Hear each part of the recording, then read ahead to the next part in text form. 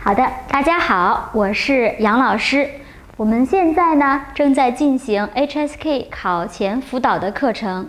那这个课程呢可以帮助考 HSK 四级的同学做好准备和复习的工作。那可以帮助你在考试的时候呢获得更高的成绩。现在我们正在进行书写的第二部分，也就是看图和给，根据这个词写一个句子。那我们前边呢已经学习了，如果遇到了 adjective 要怎么去写句子。那今天呢，我们来看一下啊，就是如果你看到了是 verb，那你应该去写什么样的句子才能够获得更高的分数？好的，那现在呢，我们来看一下，如果是 verb，那一般的 structure 是 subject verb object，但是呢。你不可以只写 subject verb object，这个是不对的。比如说呢，你不可以说我喝咖啡，那这个句子听上去是对的，但是一定要有一个 context 才可以啊，context 才可以。比如说我去咖啡厅，我的朋友问我你喝什么，我说我喝咖啡，这个是可以的。但是如果你在这儿写，比如说它是衣服，那这个句子是有点奇怪的啊。这个句子对对于啊这个没有没有 context 的话，就觉得非常奇怪。而且呢，这个句子特别简单，所以呢，啊老师不会给你特别高的分数。这个是需要同学们稍微注意一下的。那么，如果我们想，让我们的句子写得特别长，然后呢得到更高的分数，我们就要让这个 subject verb object 这个句子呢变得更复杂一些。那变得复杂的方法呢有很多，我们现在呢来看一下。第一个，我们可以说正在，啊，正在是最简单的啊这个 verb 的 phrase 里边最简单的一个，就是他正在做什么，she's。Doing something 啊，这个比较简单。那我可以说他正在试衣服，他正在试衣服，这个句子是可以的。但是呢，这个句子还是有点简单。那我们再来试一试啊，把这个啊 object 变得长一点，因为 subject 已经不能更长了，就是它，对吗？那么我们看一下。她正在试一条绿色的裙子啊！她正在试一条绿色的裙子。好，那我们因为我们看到了她拿的是啊一条绿色的裙子啊，所以呢，我们可以写一个比较长的句子。第一呢，是有正在。啊，让这个 verb 变得更好一点。然后另外呢，这个裙子我们加了一个一条绿色的裙子，所以 object 也变长了。那这个句子你拿到的分数就会比较高一些。好，那我们除了用这个正在以外，我们还可以用了、用着或者用过。那了的话呢，在这儿呢可能不太合适。因为感觉他还没试，就他先看一看，还没试，所以用了不太合适。那用着呢？我们可以说他拿着一条绿色的裙子，打算试一试啊。他拿着一条绿色的裙子，打算试一试，这个也是可以的。拿着，he she is holding 啊，也可以。那或者是我们也可以用过。啊，但是当然，我们像那个了是一样的，在这里呢不太适合用过啊，因为他还没试。如果他已经试了啊，我们也可以说他试过这条裙子了，但是觉得不太合适，或者说他试过了这条裙子，觉得非常适合他，也是可以的啊。我们第一呢，最简单的，我们可以用正在了、着、过等等。可以让这个句子呢变得稍微复杂一点。好，那我们再来看一下，除了可以用 verb 啊，正在 verb，或者是 verb 了，或者是 verb 过啊，那我们还可以用的就是第一个是把 sentence 啊。如果大家对把 sentence 不太熟悉啊，可以去看书写的第一个部分。那在第一个部分呢，我们给大家讲了非常多的语法，就是 grammar。那如果你的 grammar 觉得不太好的话呢，我建议你去学习一下。那在这个 grammar 的 theory 里边呢，有一个部分就是把 sentence。那把 sentence，如果你在书写的第二部分可以写的话，分数一定会特别高。但是要求你一定要写对啊，要写对的句子。那对的句子一般来说是一个人把一个东西 verb，然后结果怎么样了啊？这个是我们的一般的句子。那或者是你可以用这个 place verb 遮 object。那这个呢，我们也在书写的第一个部分也已经学过了啊。如果你还没有看的同学，一定要去看一下，因为我们在啊书写第一部分跟大家说了一些在汉语里边非常对的句子，可能会在英语里边或者别的语言里边你会看上去特别奇怪啊。有一个就是这个，在一个地方。Verb 遮什么啊？这个是比较难的。好，那我们现在呢来看一下啊，这个这两个词，这两个词，这两个图。那如果我们用把 sentence，我们要怎么说啊？第一个是你看到一个女人，对吧？她正在打扫，但是给你的 verb 是收拾啊，因为收拾和打扫的意思是很近的，所以。有很多同学说：“老师，我可能会不认识这个词是什么。”那你可以根据这个图来猜一下这个词是什么。那如果不是打扫，那就一定是收拾啊。好，那简单的句子我可以说啊，这个女人正在收拾房间。这个句子是对的，可能会给你两到三分。比如说，那。但是如果我用把 sentence 的话，就可以给到你五分了。比如说，他把房间收拾干净了。啊，我们学把字句的同学，如果你已经学过的话，这个句子对你来说一定是非常简单的句子，一定是没有问题的句子，你可以写出来啊。一个人把一个东西 verb 怎么样了啊？就是他把房间收拾干净了。那或者是你用把的另外一个 structure，就是麻烦你把房间收拾一下啊，收拾一下啊，这个也是我们的把 structure 里边学过的一个 structure。所以呢，如你可以再去复习一下这个把 structure。好。这是第一个我们的图收拾，然后我们用把 sentence。那另外这里呢有一个是啊，我们可以看到这应该是一个看上去是一个男人啊，但是没有关系。然后旁边他拿着一个一幅画，那么这个应该是他要挂在墙上的一幅画啊，所以呢我们可以说啊，用把 sentence 是他把画挂在墙上了。啊，因为 verb 就是挂，对吗？所以他把画挂在墙上了。好，那也可以用第二个句子，就是墙上挂着一幅画，墙上挂着一幅画。那这个句子可能对于很多同学来说呢，都有点难，但是你们呢要去学习一下这个 structure。啊，这个在你的语言里边一定是没有的，但是在汉语里边是可以的。所以这样的句子你一定要特别注意，要小心。当然了，如果你觉得老师这个句子太难了，我觉得我不能写对的句子，我很担心我写错，那我建议你就不要写了。你可以说什么？你可以说他正在挂一幅画，他正在。挂一幅画，或者说他正在挂一幅非常漂亮的画，就是你把你的 object 变得长一点，这个也是可以的。当然分数可能没有那么高，可是我觉得三分或者四分应该是没有问题的。好，这是我们的两个例子。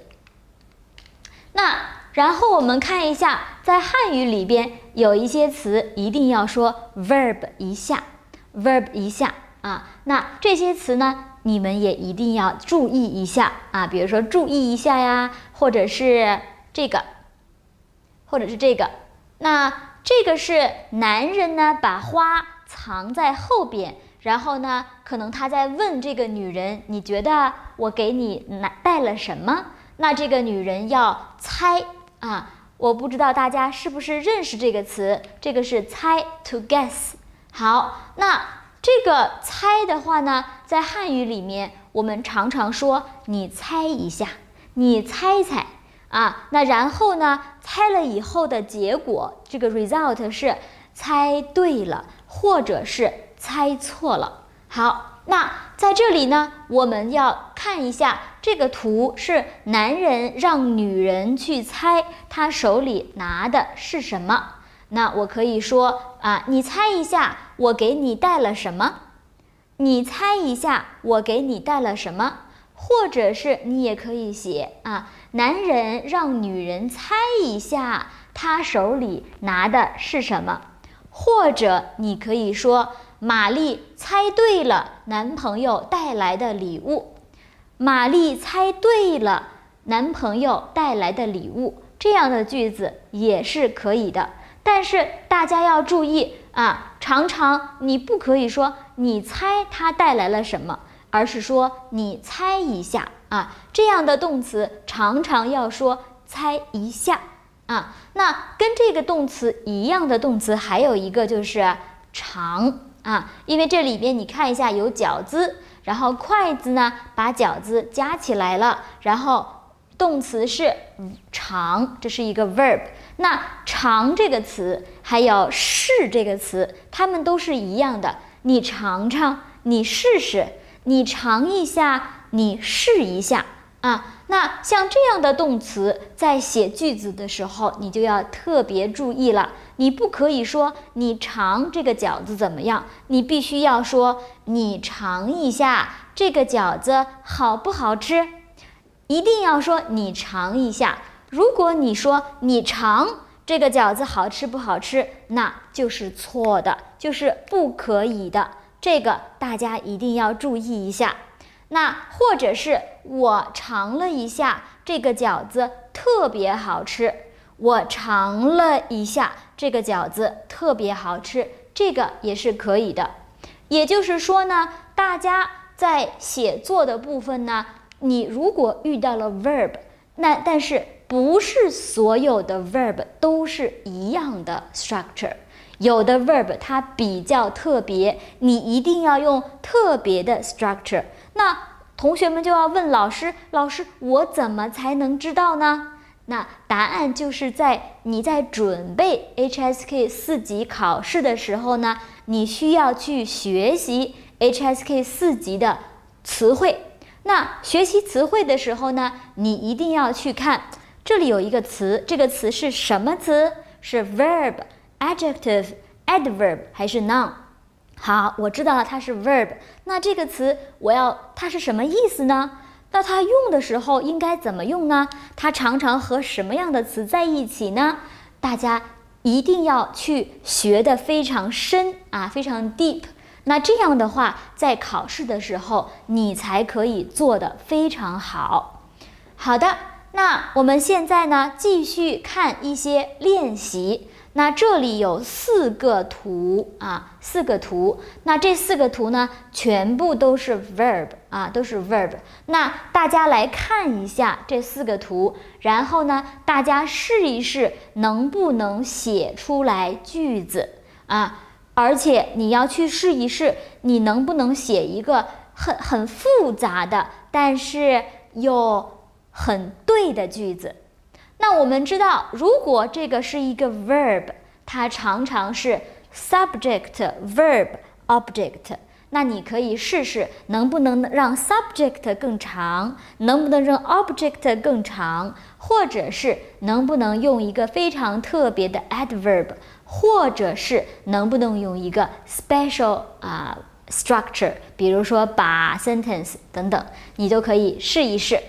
好，我们现在呢来看一下第一个第一个呢是大家可能不太认识第二个字，第一个字大家都认识是打，那第二个字我不知道怎么办呢？我看看他在做什么，他他在做什么？那同学们可能会有两个答案，第一个答案就是化妆 make up，那第二个答案就是这个打扮。啊，那打扮就是 decorate 啊，就是打扮，那是是人打扮自己，可以穿漂亮的衣服，可以化妆，这个都是打扮。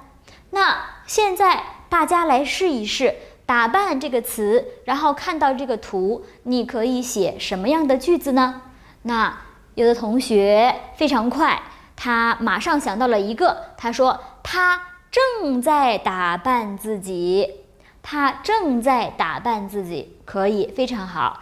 那有的同学说：“老师，我要写两个句子。”我会说：“因为有一个晚，因为他要参加一个晚会，所以他现在正在打扮。”那就更好了。你写了两个句子，你还写了原因，这个更好了。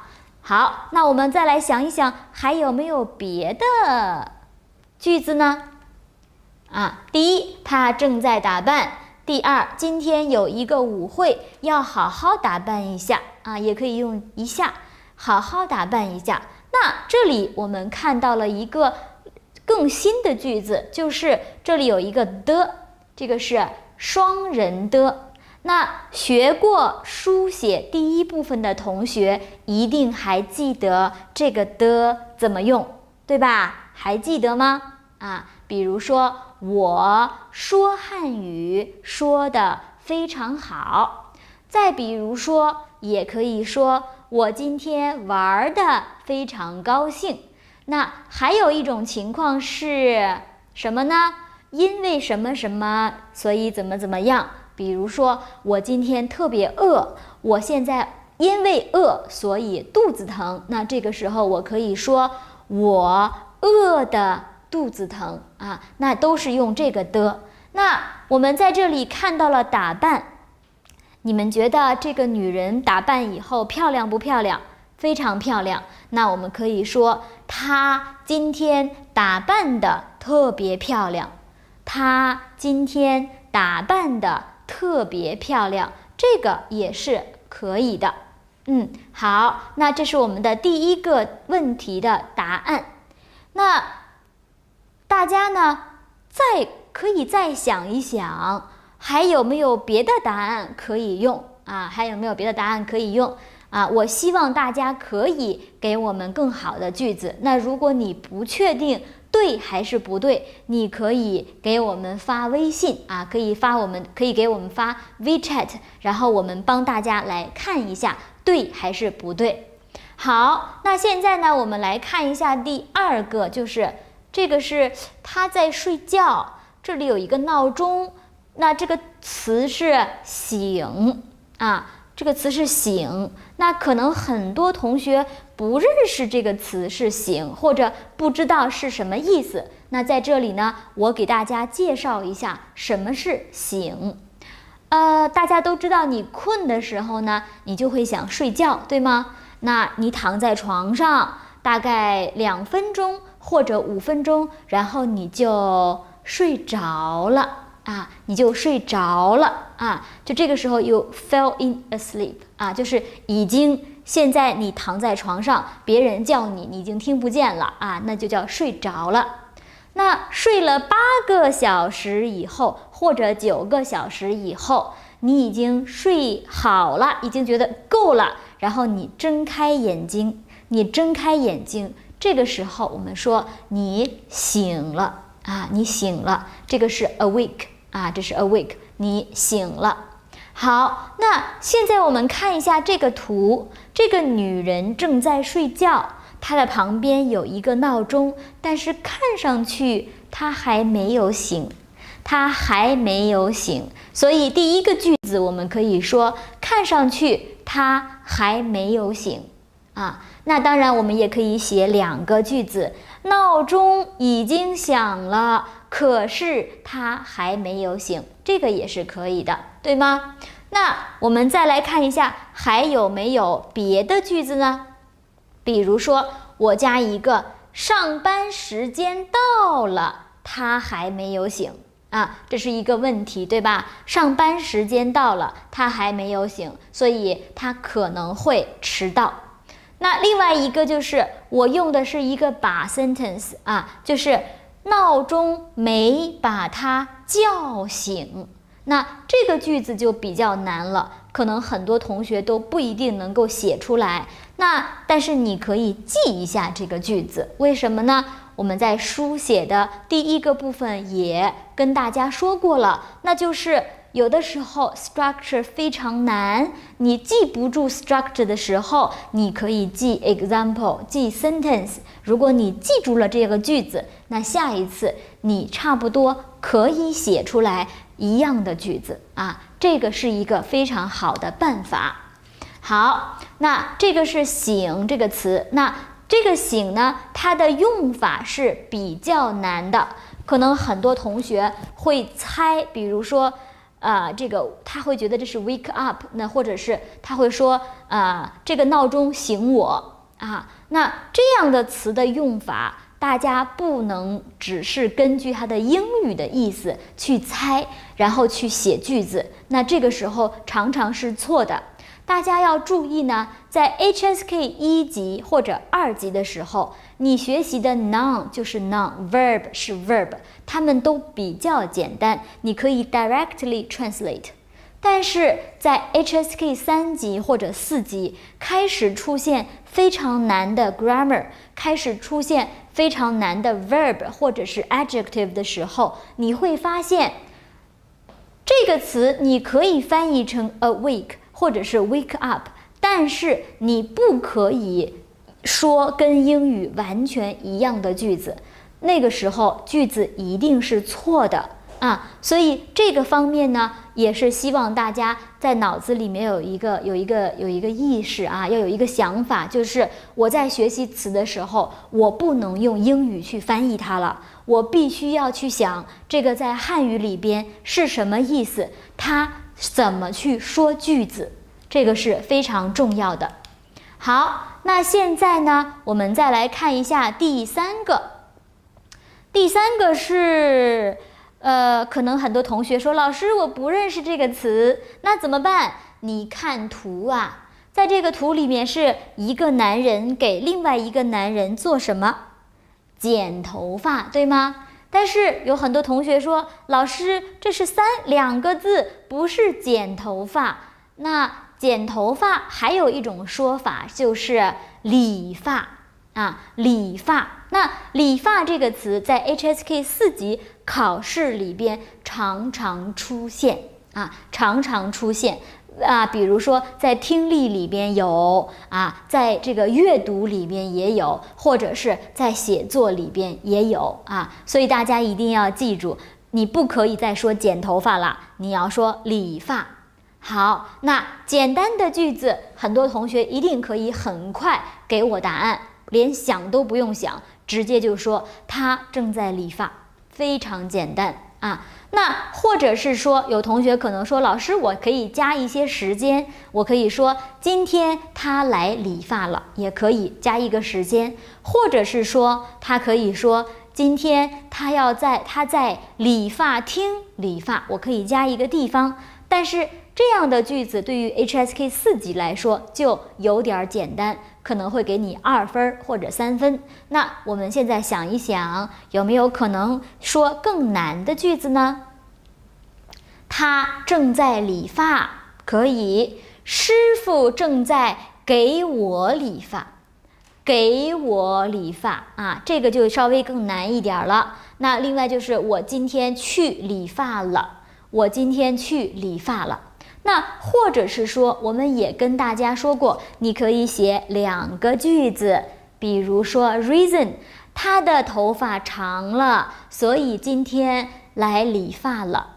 那或者是你可以说 result，你可以说啊，他来理发了，啊，他觉得师傅很好，他很满意，就是他来理发了。那理发以后怎么样呢？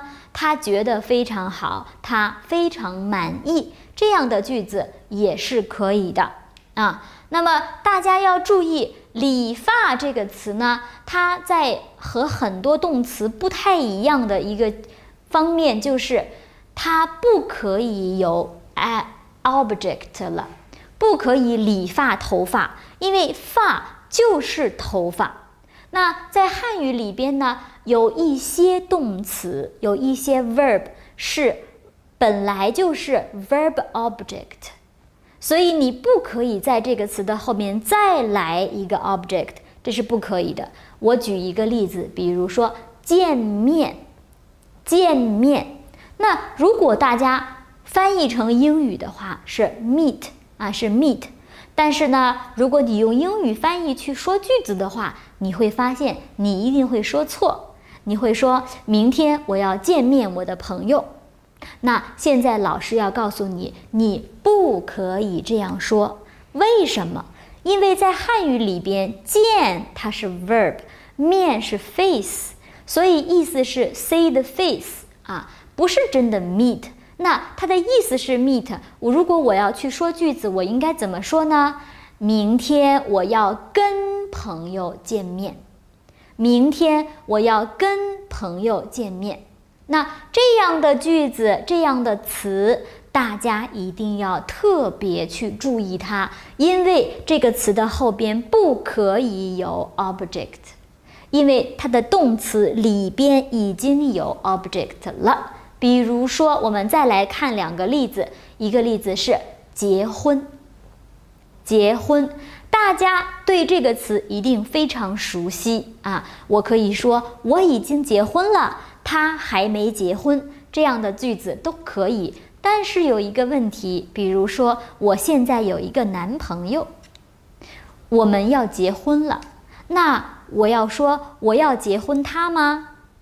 不可以，我要我应该说我要跟他结婚啊，不可以说我要结婚他。为什么呢？因为结婚呢，结是 make a knot，婚是 marriage。所以它已经是一个 verb object 了，所以它的后边呢不可以再有 object。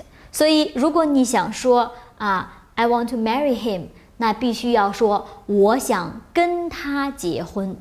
那跟这些见面啊、结婚啊、理发这样的词一样的 verb 还有很多，比如说像帮忙也是一样的。那大家。在学习的时候要注意一下，这样的 verb 不可以在后面 plus object。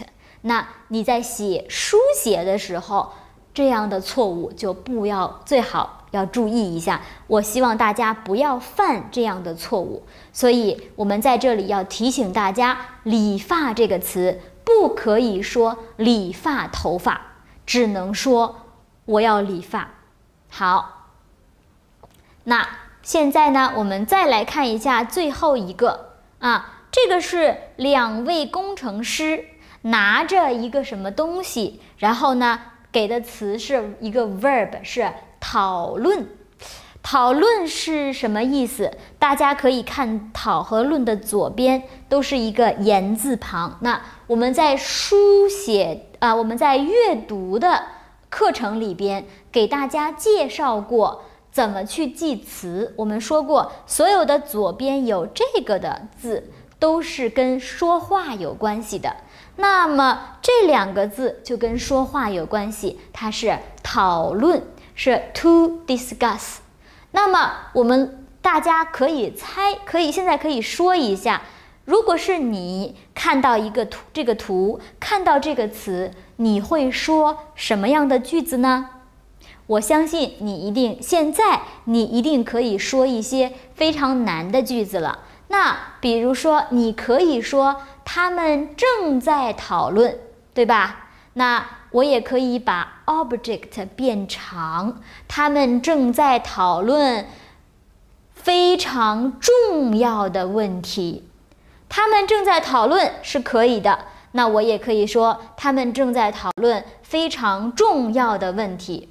或者是我可以写一个啊，具体的工程师们正在讨论工作计划，或者是他们正在讨论什么问题也是可以的。好，那我相信同学们听了这个课程以后，关于动词肯定还会有更多的句子啊。现在呢，除了这些以外，我也希望同学们可以写出来别的更难的句子啊。这样的话呢，在考试的时候你就不会有很大的问题了。啊，这个是我们今天学习的这个 verb 啊，也就是说，如果你在看到书写题的时候，看到图、看到词，那你发现这个词是一个 verb，你应该怎么去做啊？好的，这个是我们的 verb 的部分，动词的部分，你学会了吗？